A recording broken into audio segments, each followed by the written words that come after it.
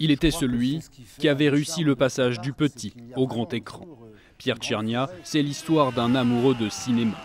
Fils d'émigrés ukrainiens, Pierre Tcherniakowski, de son vrai nom, grandit en région parisienne.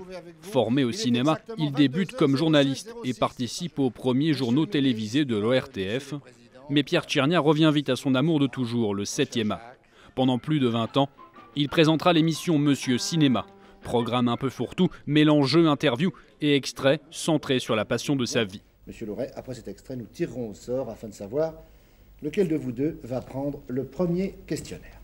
Ami de longue date de René Goscinny, l'un des créateurs d'Astérix, il sera caricaturé dans certains albums du célèbre Gaulois. René Goscinny qui l'aidera à passer de la télévision au cinéma. Il sera le scénariste de son premier long métrage, Le Viager, l'une de ses plus belles réussites, avec dans le rôle titre Michel Serrault.